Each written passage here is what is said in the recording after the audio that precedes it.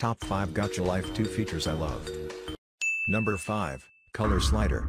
Now you can select from any colors you like. You can also save your favorite colors and find recent colors. It will make life easier. Number 4. Portrait Mode. It is one of the unique and new addition to Gacha games. You switch from portrait mode to landscape and landscape to portrait anytime. And the UI will adjust accordingly. Number 3. More character slots. Man even with 90 character slots in Gacha Club, we always ran out of it and had to delete our OCs, but Gacha Life 2 will have a lot more character slots. It is supposed to have about 300 slots. Number 2. Animated Pose. Animated poses were one of the famous feature of Gacha Life, but it was gone in Gacha Club.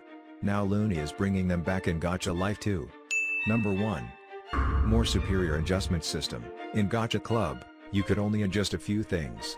But according to Luni, in Gacha Life 2 every assets will be adjustable, and it will be unlimited. You can adjust anything anywhere, you can also freely move and rotate your OC's body part, so any pose is possible now. In past I made a video to give Luni body part adjustment idea, Luni commented on it back then. Looks like finally we are getting the same feature in Gacha Life 2.